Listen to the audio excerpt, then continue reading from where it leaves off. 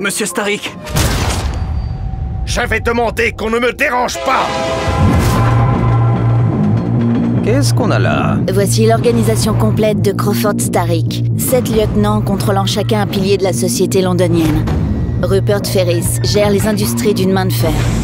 Faites-le taire et réparez cette satanée machine Pearl Hathaway.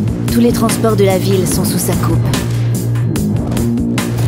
David Brewster et Dr. Elliotson poussent la science et la médecine à leurs limites, À mon grand regret, je crois que j'ai détruit l'organe. avec des résultats terrifiants. Philippe Tuppenny et James Brodenell exploitent le peuple pour faire grandir leur fortune personnelle. Et enfin Maxwell Ross, cerveau du crime à Londres.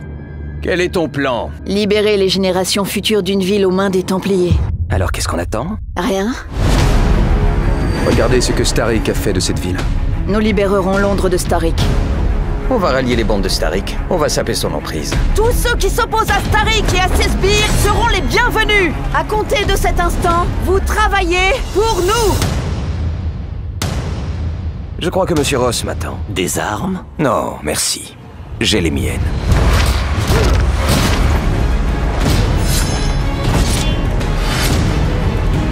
L'aura de la mort est sur vous deux Monsieur Starik vous envoie ses amitiés Tu n'es qu'un enfant qui croit pouvoir chasser les malheurs du monde d'un coup de lame. Je refuse de jouer à ton petit jeu, Ross Et que crois-tu avoir accompli, petit? Vous n'arrêterez jamais Starik. Notre ville va périr. On y retourne au nom du bon vieux temps Ce sera la dernière fois. D'accord. Bonne chasse. Sois prudent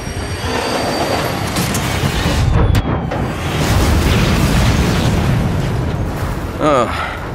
Il semble qu'on ait fait un arrêt imprévu.